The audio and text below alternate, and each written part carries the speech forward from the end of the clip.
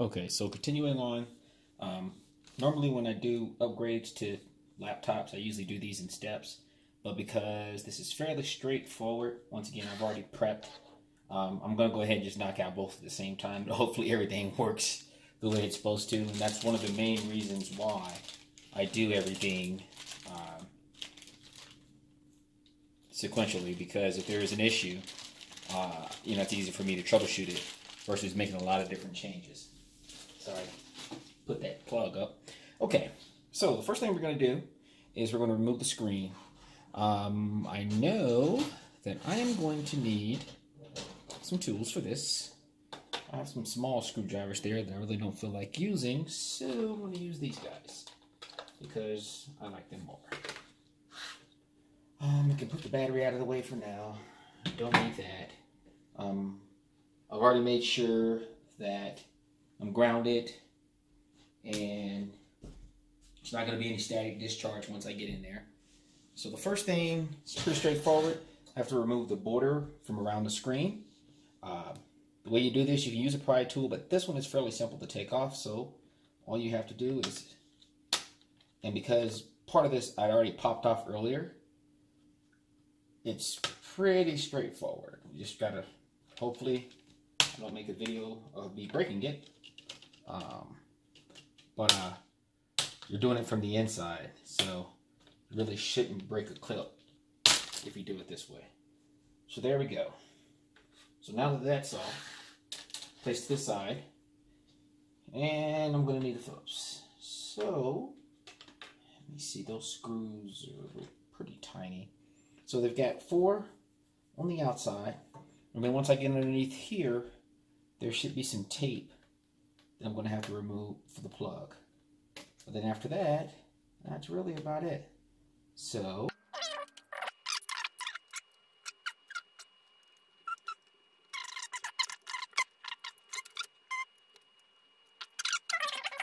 So now the screen should come forward. Still going to be attached because what they do at the factory is they put a piece of tape there and what ends up happening and I can turn it towards the camera hopefully you can see that um, we'll just have to actually peel it back and then we can take this guy, see if I can adjust the light just a little bit, okay, and put the other screen in. So, once again, it's just a matter of peeling the tape back.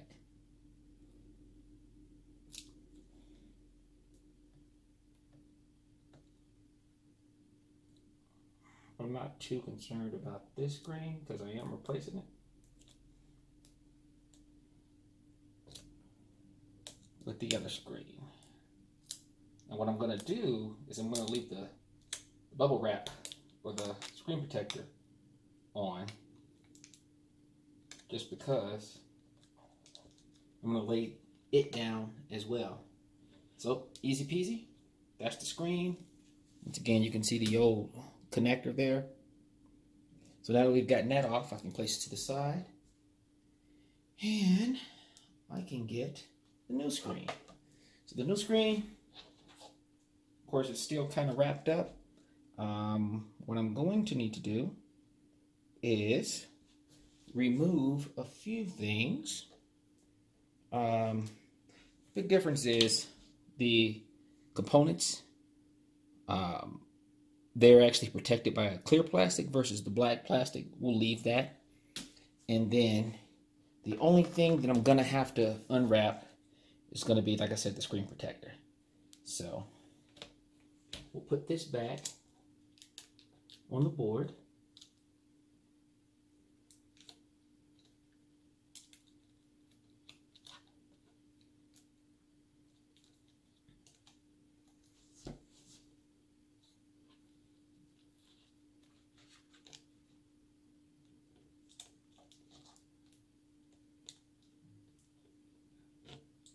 Probably can't see this, but it's got a slide back in there.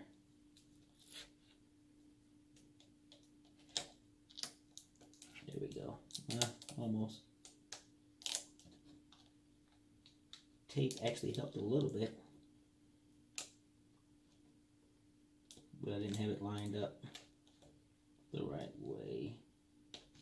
There we go. So now, we're in there. So, try not to put too much pressure on it because once again, you know, fairly delicate. Fold this back boy back up into place. And what I want to do is I'm going to put the screws in this and we're going to move on to the next part, which would be the SSD. SSD is going to be pretty straightforward. Um, really.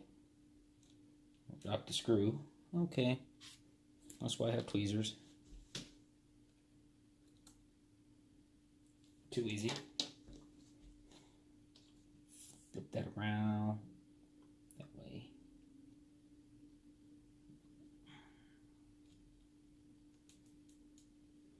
So, good to go there.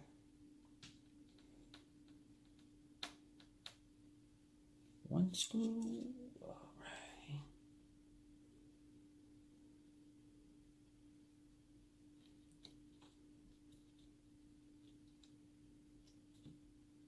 Notice the tab is actually bent. That's weird. Hmm. May have come, well, it had to come like that because I know I didn't bend it. So now I'll go over here to this side. Add in another screw. Mm, as well, these things couldn't be any smaller. How about we do this? Let's scoot it over this way.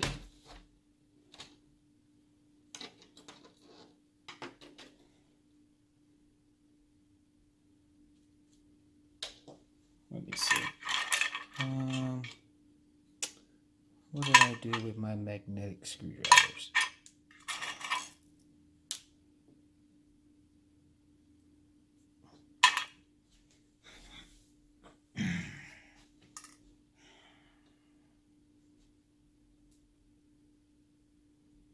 Okay.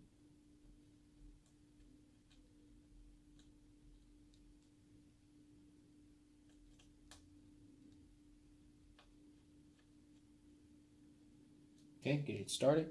Once again, I'll come back and tighten all these up. I do that last though. This is the one that was actually bent a little.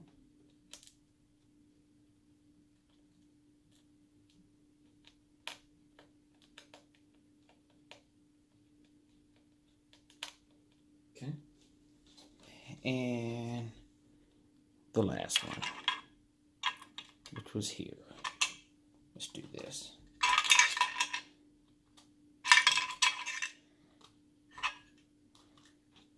Okay.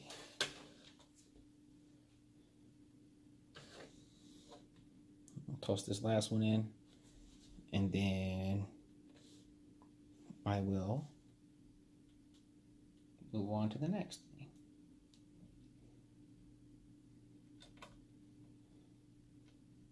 Okay. So that's in. This guy's in. Just tighten it a little. This guy's in. And this guy. Okay. This one just seems like it was just okay. There we go. All right. So the next thing we're to do is the hard drive. So generally, when you take these hard drives out, I'm to move some of this stuff out of the way. So when you buy it, it comes with this tray that you may or may not end up using, and there's also a tray in here that actually um, keeps everything in place. Actually, it holds the SSD in place. The way that you get to it is you flip it over, and I think what I'm going to do is zoom in just a little bit so you can kind of see what I'm doing here. this gimbal is like extremely sensitive. Okay. I think that's good. So now, what you want to do is you want to turn it over. You see the service panel here is just one screw. And you just need to take it out. Uh, let me go uh, down just a little more. Okay. So about right there. Then, same thing. Take it out. And then sorry, so the screw should fall out.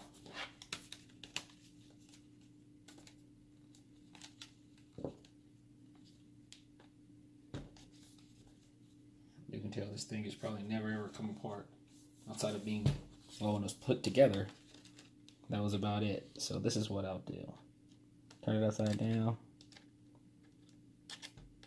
Mm. See it moving. All right. So there we go. Easy peasy. So now, paranoid, touch my ground again just to make sure. Static discharge. And then now, you're going to look inside of here, and you'll see there's a little tab. And that is how you get your hard drive out. So when we put it back in there, we're just going to put it back in the exact same way. But it's pretty straightforward. And then now, you just pull your hard drive out. So that's the hard drive. Like I said, it was a uh, traditional, you know, hard drive. Um, nothing special. 500 gigabytes. So now what we're going to do is we're going to see which way the pins oriented, which is pretty straightforward. So these pins should match up. Same connections, right? Okay. So it's going to go in just like this one came out.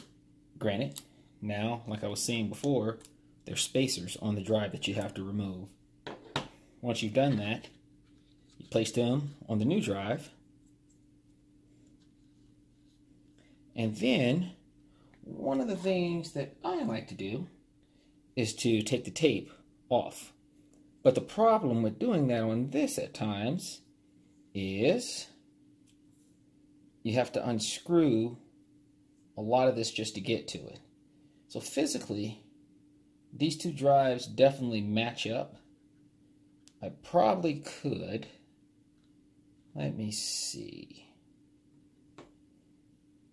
I probably could. Hmm, probably want the screws to go in from the side. Not a huge fan of that. Okay. So let's see.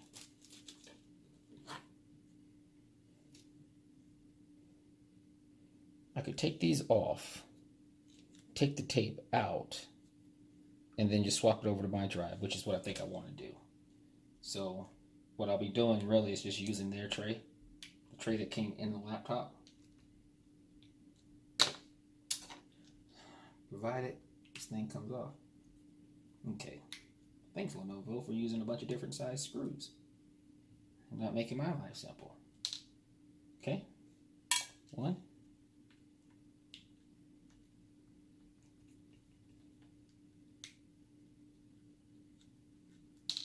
Two. All right, two more. Okay. Three. And the last one.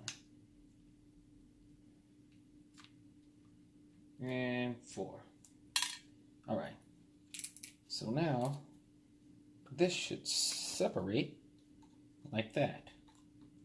Okay. So, if this is a 2.5, which is what it actually is, this is a 2.5 also, it should fit in a tray. And it does, right? So I don't have to use their adapters. I use my own, well, the ones that came on the laptop. And now, all I need to do, make sure you tuck this under, because you have to put the door back on, and then you can just slide this in there. And once you get it in there, it's going to go right into those two connectors. And you are good to go. Everything should be seated. And we'll find out shortly when we turn this bad boy on.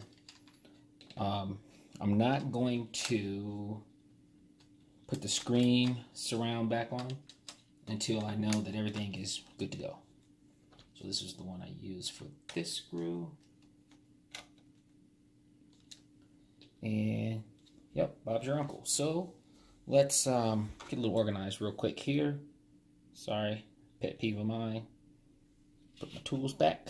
Put these guys over here. Okay, remove this and this. Um, a lot of times what I do with my drives, because, I mean, they're still drives, I can still store stuff. I, uh, a lot of times will just make them into external drives. But, uh, I don't know. I may not even do that this time. Okay, so time to grab the battery. Put the battery back in. Okay. So, once again,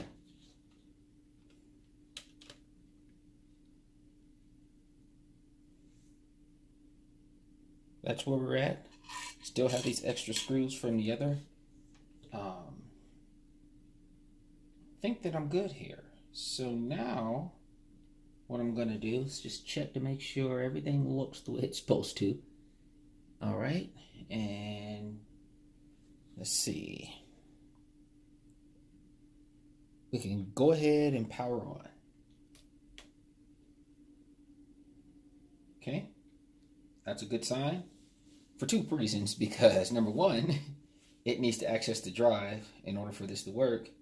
And number two, we put a screen in. The screen was jacked up, I can already tell you the screen actually looks better than what we took off of there. And fairly quick. Fingerprint reader initialized. It's booting up. And okay. It's got some updates there. It's telling me my drivers were installed for this software. Um, yeah, looks fine. So what I'm going to do now is remove my screen protector.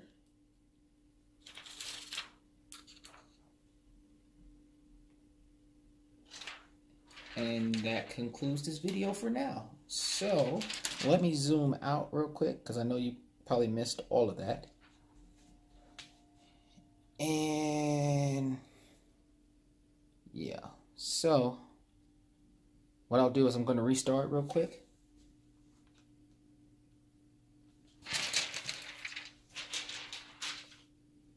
So then you can see, once again, the screen is glossy. Um, I'm not a huge fan of glossy screens, never have been. I'm to try to move my light out of the way.